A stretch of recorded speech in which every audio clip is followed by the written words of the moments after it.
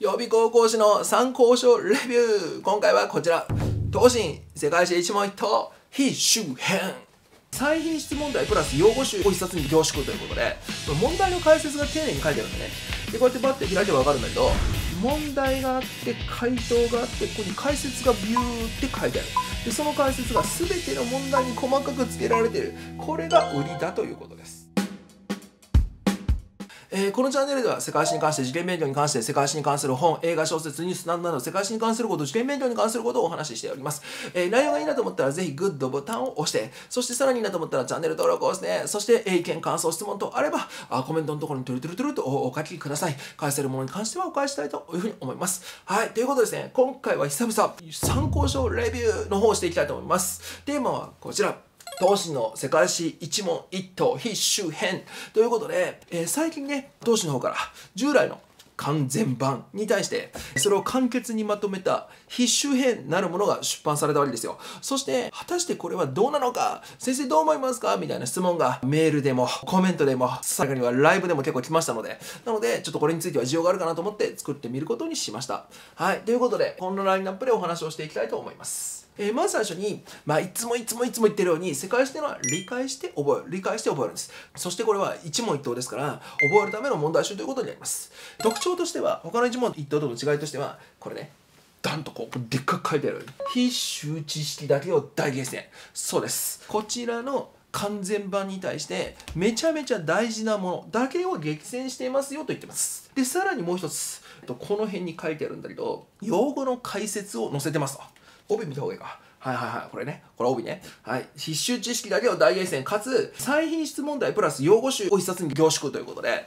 これ問題の解説が丁寧に書いてあるんでね。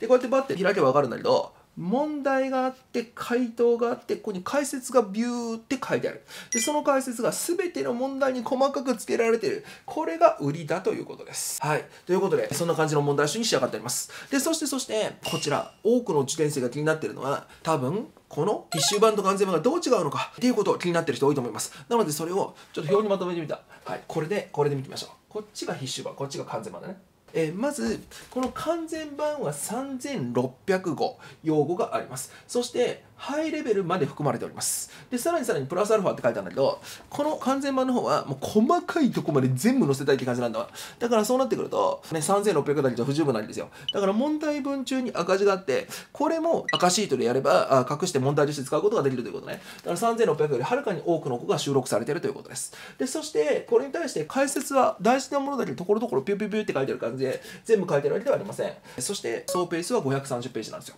でそれに対してこちらの必修版はこれは2700語収められております。まあそうですよね。必修知識だけをっていうことですからそれは数を抑えなかったら詐欺になっちゃいますよ。でそしてレベルとしては必修知識なんで標準までです。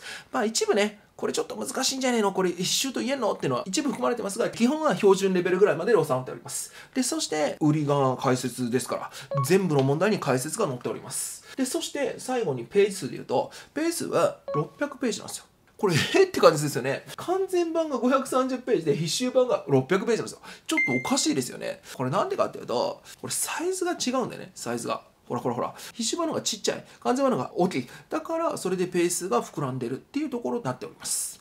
あちなみに価格で言うとこっちが1100円でこっちが950円プラス税。だから若干安いけど150円。まあまあまあそんなに大きな差にはなってないっていう感じですね。はい。ということで、えこれがこの2つの比較という感じです。そしてそして、じゃあ果たしてこの必修編良いのかどうかっていうところでお話を次にこっちでしていきたいと思います。まず1つ目の疑問点と言いますか。1つ目の「ん?」っていうところなんだけど果たして解説は必要ですかって話。そうなんですよ。この一問一答は解説をビューッと細かく載せてるのが売りだよってことになってるんだけど果たして一問一答やってる時に解説読むか？っていう話。だってさ一問一答ってスピード感持ってパッパッパって全部確認できるのがそれがいいところなんでしょなのにこっちに解説見たら読むと思ったらめっちゃ時間かかっちゃいますよ。でしかもこの解説があるおかげでこんなに分厚くなっちゃってるわけ。ね。完全版よりも分厚い基礎編ってなっちゃってるわけよ。それおかしいでしょどう考えても。って考えるともっと解説を簡潔にしてそしてむしろ自分で書き込みとかできるように。だってこんな文字びっちり書いたら書き込みなんかできないじゃないですか。っていうことだししかもさこれ最初のコンセプトとして用語集って細かいところまでめっちゃ書いてるよね。入試に出ないところまで、えー、載せてるよね。だからそれを見ると煩わしいから簡潔に解説書いてよって書いてあるのにえそれ必修と言える？それ基礎と言える？みたいなことまで結構書いてあるんですよ。だからそれをもっと簡単に解決にしてピューってして薄くすればもうちょっとこれペースなんとかなったんじゃないの？っていうかそもそもさこのサイズじゃなくてこっちのサイズにすれば薄く仕上げることできたんじゃないの？っていうふうに思うということです。だから果たしてこれ解説をそんなに細かくやることって必要だったのかな？っていう気はする。まあ最近のコンセプトとしてなんかオールインワンみたいなものがなんか好まれる傾向にあるけどよくあるパターンとしてオールインワンにすると解説としても中途半端問題集としても中途半端みたいな感じになっちゃうことが結構あるんでね。あのほら時代と流れで覚えるとかあとマルチトレーニングとかなんかあの辺がそうなんだけど結構その詰め込んだせいで両方の意味で中途半端になることが結構ある。でそれがこれちょっと出ちゃってるかなって感じがする。でそしてもう一つが、はい、必修版なのにこのサイズ感ということでこれこのサイズ感ねさっきからずっとと言ってるようにこの完全版より分厚いというこのおかさね。でそしてこのサイズ。このサイズって使いにくいっすよ。なんかさっきからずっと見てたんだけどすぐ開くじゃん。戻っていくんだわ。でそれが使いにくいんだ。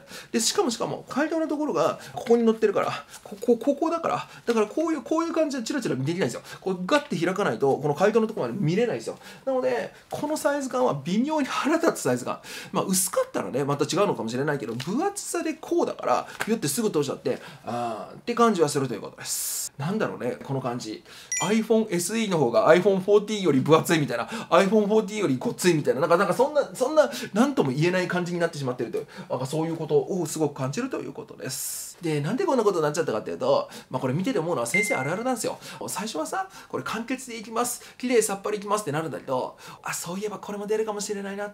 あこれもこれもやっといた方がありがたいだろうな。あこれもこれもついてだから書いとこうみたいな。だからいい人ゆえにいっぱい解説しようと思っちゃうんでね。でそうした結果当初の薄くいく必修だけいく、えー、簡潔にまとめるっていうのができなくなってああみたいななんか妥協の産物じゃないけどああみたいな感じに仕上がってしまった。っていうところをこれはすごく感じたということです。はい。ということで最後にですねこれを踏まえて、はい、どんな人に向いてるのか果たしてこれを使える人はどんな人なのかっていうお話をしていきたいと思います、えー、まず最初に言っておきたいのは2年生とか低学年で低学年のうちはこっちを使って高学年になったらこっちを使う。っていうのは絶対にやめた方がいい。そういうことです。なんでかっていうと二度手間でしょ？だってこっちをしっかりやった後またこっちからゼロからスタートするってやる気しますか？って話そんなめんどくさいことをやってらんないですよ。でそういうことをやっとにかって一問一答で全部クリアしてしまう。で終わりにしてしまうパターンがあったりします。あの一問一答ってあくまで基礎だからね。最終的に大事になってくるのは過去問です。過去問いかにやっていくかなんだわ。だからこれで完結終わりにしてはいけないんですよ。なのにこっちやってこっちやったらあ終わった。俺は一問一答極めたってなって一問一答マスターにやって結局入試問題全然できませんみたいな。なんかそういうアホな受験生を量産してしまう可能性が多々あるかなというふうに思う。なので2つを使い分ける。こっちやってからこっちやるっていう。それはもう頭がおかしいので絶対にやめた方がいいと思います。でそうなってくるとじゃあ誰が使えるかっていうとまず一つは協定のみの人、うん。まあ、経手のみだったら全然いけるなというふうに思います。ただ何度も何度も言ってるように、まあ、他の前動画でも見れば分かるんだけど経手のみの受験生が世界史を使うってのは果たしていい選択肢なのかっていうと甚だ疑問だということです。果たして本当に世界史でいいのか政経の方がいいんじゃないですか？あ地理の方がいいんじゃないですか？そこはちょっと考えた方がいいかもしれないね。であとは中堅次第、まあ、日東駒線とかでいい人とかあるいはマーチでも英語国語しっかりできます。世界史は足を引っ張らなきゃいけないんです。っていうんだったらこれでもなんとかなるかもしれない。ただこれでいいんだけどこのレベルだってこれでいいんだけどでもこれをやるんだったら、まあ、例えば山川の一問一答しっかりやるとかあるいは Z 回とかあとはターゲット、まあ、ターゲットもあんまり好きじゃないんだけどターゲットの標準レベルのところだけしっかりやるとかした方が使いやすいと思うよ。なんでかっていうとずっと言ってるように分厚いからごついこの感じが使いにくいからだからその辺を踏まえるといかがなものかなというふうに僕は思うということです。はいということでですね。今回は久々参考書レビューということで当心一問一答必修版についてお話をしてみました。何か意見質問感想等あればコメントのところにトゥルトゥルトゥルとお書きください。ということで以上です。終わり。ご苦労様でした。バイバイ。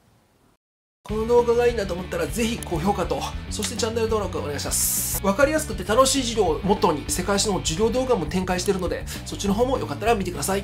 Twitter とインスタもやってるのでそっちも登録してくれると嬉しいです。ということで以上終わり。バイバイ。